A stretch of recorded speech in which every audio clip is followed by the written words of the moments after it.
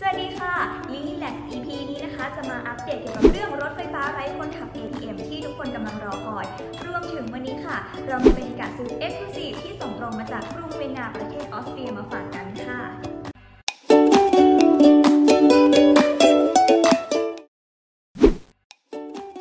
และภาพที่เห็นนี้นะคะ ก็เป็นบรรยากาศของการทำงานในกระบวนการขนส่งรถไฟฟ้าไร้คนขับ APM นั่นเองค่ะ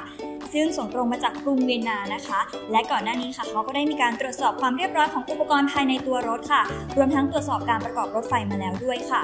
ขั้นตอนที่ทุกคนได้เห็นนี้นะคะ เป็นกระบวนการยึดรถไฟนั่นเองค่ะ เพื่อให้การขนส่งเป็นไปอย่างมีประสิทธิภาพสูงสุด เพราะว่าเขาจะต้องการรักษารถไฟให้สมบูรณ์ชนิดที่เรียกว่า 100%ให้ได้ค่ะในระหว่างการขนส่ง เมื่อพร้อมแล้วก็ออกเดินทางค่ะ โดยเขาจะนำรถเทลเลอร์นะคะ ที่บรรทุกรถไฟเนี่ยจากออสเตรียนะคะ เดินทางไปขึ้นเรือที่ประเทศเยอรมันนั่นเองค่ะ ก่อนที่จะส่งตรงมาถึงประเทศไทยค่ะ สำหรับการขนส่งมายังประเทศไทยนั้นนะคะ เรือก็จะมาขึ้นที่ท่าเรือแหลมฉบังค่ะ ก่อนที่จะมาส่งที่สนามบินสุวรรณภูมิที่เราได้เห็นกันไปแล้วนะคะ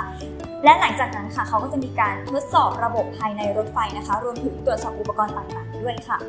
นี่คือการทำงานของทีมซีเมนส์นะคะ ที่เขาส่งตรงมาถึงสนามบินสุวรรณภูมิเลยค่ะ รวมถึงซีเมนส์นั้นนะคะ เขายังเป็นที่ยอมรับจากการให้บริการรถไฟฟ้ามาแล้วหลายประเทศทั่วโลกเลยค่ะ แบบนี้ไงคะที่ทำให้ไอลิงเชื่อมั่นในคุณภาพของซีเมนส์เรียกได้ว่าความจริงใกล้เข้ามาทุกทีแล้วค่ะ เพราะว่ารถไฟฟ้าขบวนที่ 2 นะคะ ได้เดินทางมาถึงเมื่อเดือนที่แล้วเรียบร้อยแล้วค่ะ ส่วนเดือนนี้นะคะจะมีการทดสอบบนรางวิ่งจริงค่ะ ใครที่รอใช้บริการอยู่นะคะ อดใจรออีกแค่นิดเดียว เดี๋ยวได้ใช้บริการแน่นอนค่ะสำหรับ EP หน้านะคะ จะมีเรื่องรีแลกซ์อะไรมาฝากกันรอติดตามนะคะบ๊ายบาย